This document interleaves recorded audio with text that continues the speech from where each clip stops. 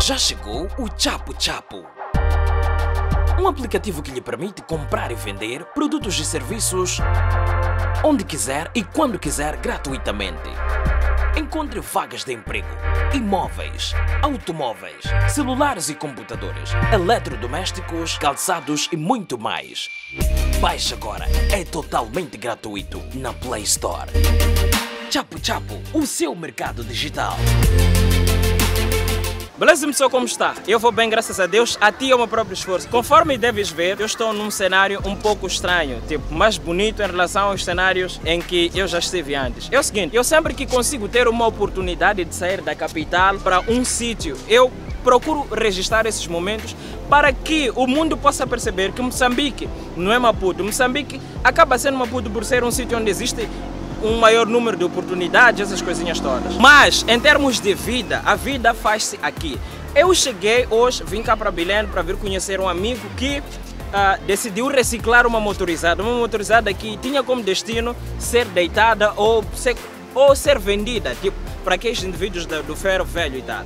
Então ele decidiu não vender, não deitar e reciclar a moto. De que maneira? Usar material reciclado de carros eh, e qualquer outro tipo de coisa. Chamou um amigo serralheiro para poderem organizar, a, para poderem construir um outro tipo de motorizada e tal. Um triciclo que leva acessórios de carro. É, é uma coisa que vais ver na próxima entrevista. Eu simplesmente te vou mostrar o cheirinho daquilo que eu vim encontrar aqui. Agora, é o seguinte, eu, eu quando cheguei aqui em Belém, eu me pergunto, eu já vim para Belém quando eu vinha para uma conferência, na altura eu fazia rádio, ainda criança em 2006. Então foi a minha primeira visita cá, eu não pude desfrutar deste espaço, simplesmente tinha memória do passado e tal. Então eu cheguei aqui e eu me pergunto, o que é que eu estou fazendo no Maputo? Maputo é um sítio tão apertado, tão apertado, sem águas tão boas, tão boas. E, e nós temos aqui em Belém coisas muito bem boas.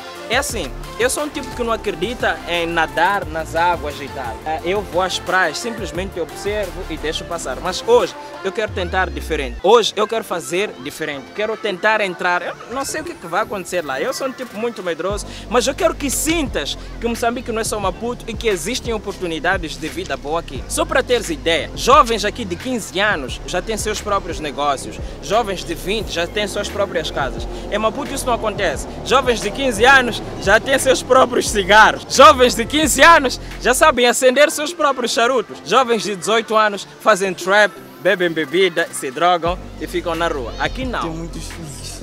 é? Tem muitos filhos. É. E, e, consequentemente por causa disso a influência do exterior acabam tendo muitos filhos. Aqui não. Pode ser que existam filhos que tenham outros filhos.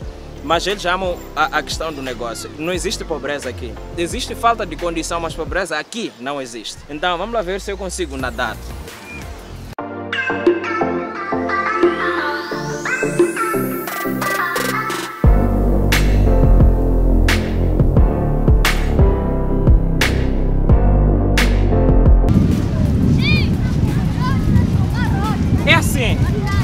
Uh, eu, eu, eu conheço aquela coisa chamada mudar de ideia. Eu mudei de ideia.